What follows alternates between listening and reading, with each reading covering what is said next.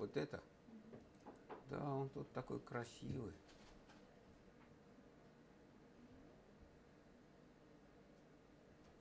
Гибель а, Сулима Имадаева усиливает позиции а, Рамзана Кадырова в Чечне и просто лишний раз а, фиксирует, что в общем э, никаких заметных а, сил, которые бы противостояли а, среди чеченского общества, среди профедеральных сил, да, а, не осталось.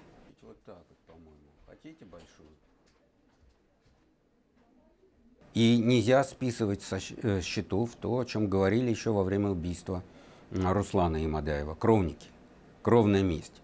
А действительно следует вспомнить, что за кланом Имадаевых идет большая, длинная цепь убийств, а, похищений, пыток, крови.